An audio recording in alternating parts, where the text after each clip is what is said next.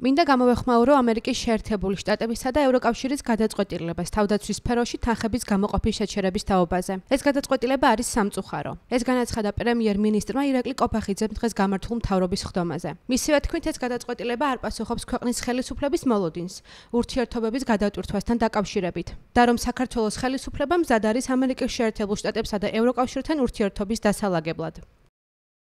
პირველ რიგში მინდა გამოვეხმაურო ამერიკის შეერთებული შტატების და ევროკავშირის გადაწყვეტილებას თავდაცვის სფეროში თანხების გამოყოფის შეჩერების თაობაზე.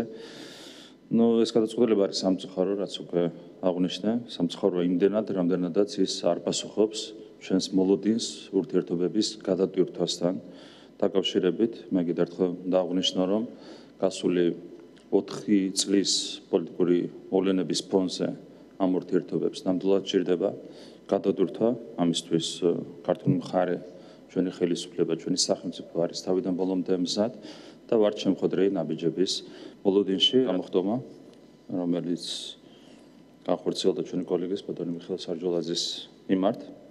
ამ თავდასხმის ავტორი იყო ეგრეთ წოდებული გულწრფელი ახალგაზრდა რომელიც შემდეგ შემთხვევით აღმოჩნდა ნაცმოძრაობის აქტივისტი, გერცოთ ნაცმოძრაობის ერთ-ერთი არასამთავრობო ორგანიზაციის ნაბიჯის ლიდერი. ნუ საინტერესოა რომ ეს ორგანიზაცია პარალელურ რეჟიმში ფინანსდება ჩვენი ინფორმაციით. ერთი მხრივ გეზერაშვილი დიმაჩიკოვანის მხრიდან და მეორე მხრივ კონკრეტული უცხოელი დონორების მხრიდან.